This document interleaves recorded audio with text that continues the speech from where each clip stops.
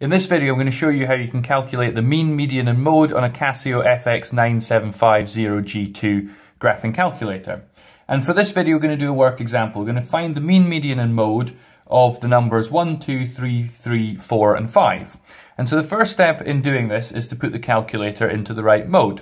So we want to press menu, and then if you go across, you've got mode 2, which is for stats. So press number 2, and that puts you into the stat mode. You can see here that there's already some data. You may have data in your calculator from a previous calculation, so you have to make sure that that's all been cleared. So if you press F6 to go to next, and then you've got this option here on button F4 that's delete all, so press F4, and then F1 will delete everything there.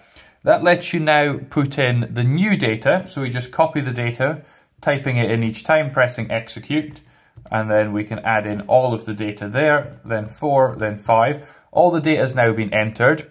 So we need to now navigate to the correct calculation menu. So we're going to press F6 to go back to here. Then we've got calc for calculations, and then it's got some options. We've only got list one, so we're looking at one variable calculations.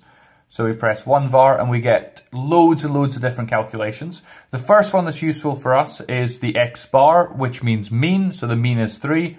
Then we go down, we get the minimum, some quartiles. There's the median, which is the next one that we're interested in, which is coming out as three.